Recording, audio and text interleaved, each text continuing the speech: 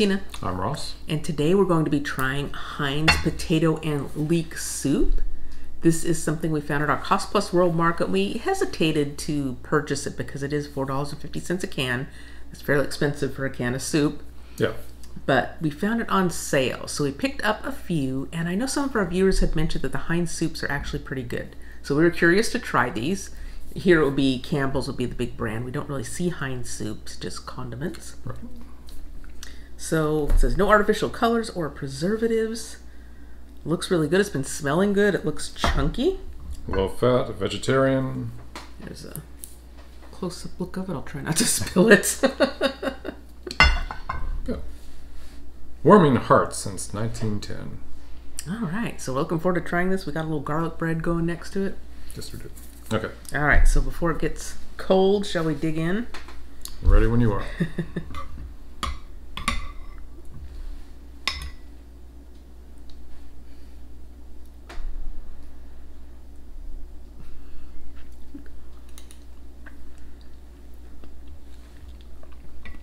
Mm. That's good. I like how it has some chunkiness to it. Oh. Because I know in Campbell's soups, I love potato soup, and that's one soup I will make on my own homemade soup. You make a, a very good. Yeah, absolutely love it. And every time I buy it in a can, I'm so disappointed. But, Yeah. Yeah. But for a canned soup, I think this is pretty good. I like the, the chunks in it. Yeah, so I'd say there's good sized chunks of potatoes. Nice savory flavor to it. It's not watery at all. Yeah, I was just going to say it's nice and thick too, as often potato soups are. Yeah. Once we go through our spare two cans, I'm sure we'll be picking up more. Yeah, this is nice, especially with winter starting to set in. It's still fall, but it is getting cold. So let us know in the comments if you have had Heinz potato and leek soup, and if you top it with anything. For example, when I do my potato soup, I often put paprika, Right. Uh, shredded cheese, usually shredded cheddar, sometimes um, sliced green onions. Yes.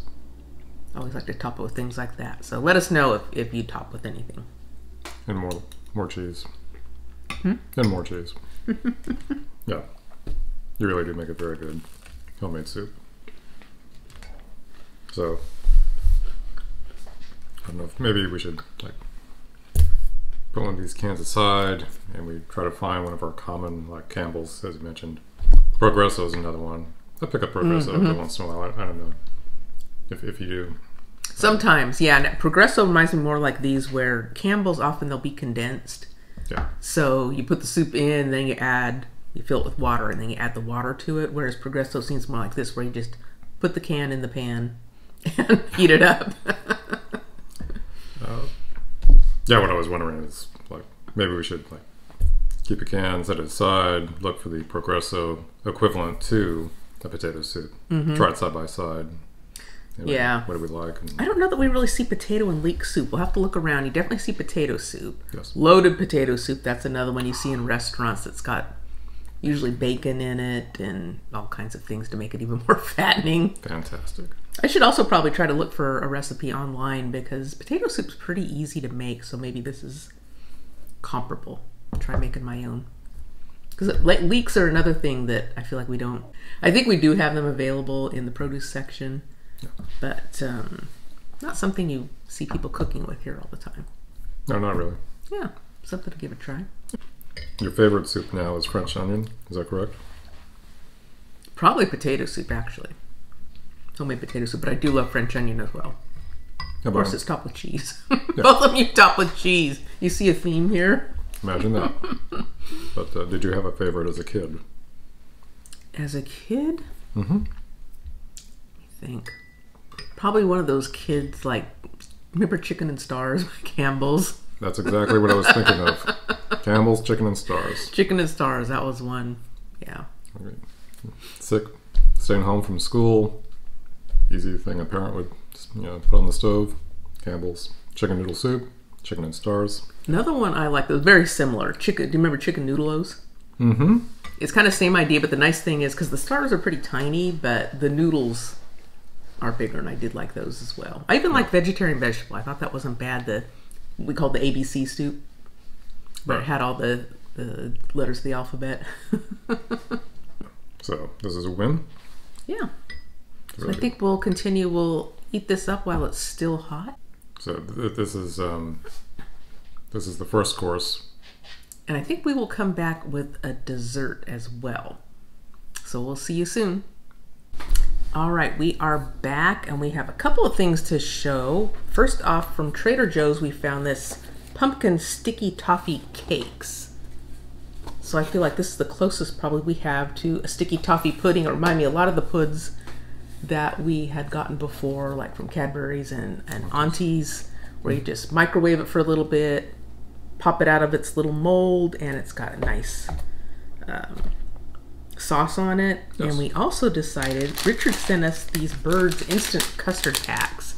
We have made regular custard out of the canister that you uh, heat the milk up. So we never tried instant. So we thought, let's try some instant custard and serve it with this. You know, they mentioned either whipped cream or ice cream, which we don't really have right now. I'm not a big whipped cream fan, and we don't have any vanilla ice cream. So I thought, let's try this instant custard. So that's what we're gonna do. Three fantastic items in one video. Yeah. So do we get a nice close up of it? Mm-hmm. Here we have it sitting in its little bed of custard. Okay. We're gonna after we looked at the calorie count, we decided we're gonna share this. We're Yeah. often guilty of that. Should we share how many calories? In case you're interested. Yeah, in case any Americans want to pick this up, if they still have it, I think this is definitely going to be a seasonal item. I'm not even sure if I saw it the last time we were in there. It does have 460 calories for one. They do come in individual servings, so you can have just make just one and share it if you want. Yes. 21 grams of fat. Okay. But I don't want to look at that anymore. but on a positive note, super easy. 50, 55 Yeah. seconds in the microwave, then let it sit for one minute. Mm-hmm. Good to go. yep. Okay. Are you ready? I'm ready to dig in. Hopefully it's not still too hot. I like how the custard came out too. That was so simple. All you did was boil some water, add it to the mix, use a whisk, and it looks like it made a nice thick consistency.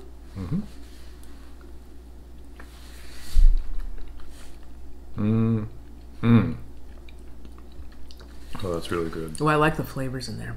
Yeah, that has a very strong pumpkin flavor. Yeah, if you like the pumpkin and the spices that you would find in a pumpkin pie, Yeah, is it you like cinnamon and nutmeg? yeah, Mm. that's all in there.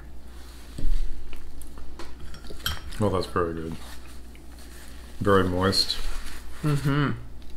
And the custard just complements it very nicely. And that sauce on top, I'm assuming that's your sticky toffee right there. Only thing I would say comparing it to the puds that we've had from the UK, I feel like this is maybe less dense. I was just thinking it was maybe softer. Yeah, I feel like it's it's nice and moist like we've noticed with the puds, but uh, it's more cakey to me. Also, I think the sauce on top is less runny. Yeah, maybe we just need to. I think we put it on for fifty seconds. We did. and so we, maybe if we microwave it a little longer, it might be a bit runnier. That could be. Mmm. That is good. I have to admit, that makes a delicious dessert. Yeah. I want to go back to Trader Joe's tomorrow morning and see if they have any of these and stock up. At least we do have another one left. Yeah. Mm. But the custard is the cream and the coffee. That's really Yeah. complements it nicely. Yeah, that was not recommended to serve it in custard. That's not something we usually do here. You don't see custard used very much. I don't know why. Yeah, but since, hey, we have plenty of custard, and I know last time we tried one of the Aunty's Puds sticky toffee pudding, that's what we did. We put it in custard. and Came out It was very good, so I thought, well, why not? Let's give this a try. Yeah. It was very good. And Richard, thank you. Yes, thanks for sending these. These are so convenient, I have to say, and it tastes good to me. So, those are great. I have to appreciate the simplicity of it. Yeah, I love when things are quick, easy, and still taste delicious. Mhm. Yeah. Though I have to say, I think it'd be really nice with vanilla ice cream too. A Yeah. scoop of vanilla ice cream, that would be really good. Agreed. We have a proper cup of, of um, you prep tea, Yes. and the tea is what kind? This is the Yorkshire tea that Richard sent us that, for hard water. Yes.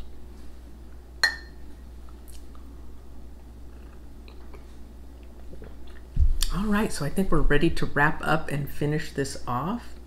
This was a really fun meal. We got to try potato leek soup by Heinz, which we enjoyed. Mm-hmm.